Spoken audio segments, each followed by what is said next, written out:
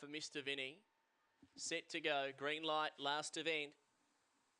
Away in racing, Mr. Vinny step well, going out really quickly. Manila Sprite today, straight through to lead over early special challenging, coming over GoPro, and then Lectra Elsa, Ted's Dream, followed by Tara's Magic, Mr. Vinny, and back to the tail, Flaming Fabio, but it's early special, clear a length to GoPro, and early special won the last. Early special by a length and a quarter GoPro, wide out third Lectra Elsa, just over Mr. Vinny, who got busy late, and then Manila Sprite, Flaming Fabio, Tara's Magic, and Ted's Dream.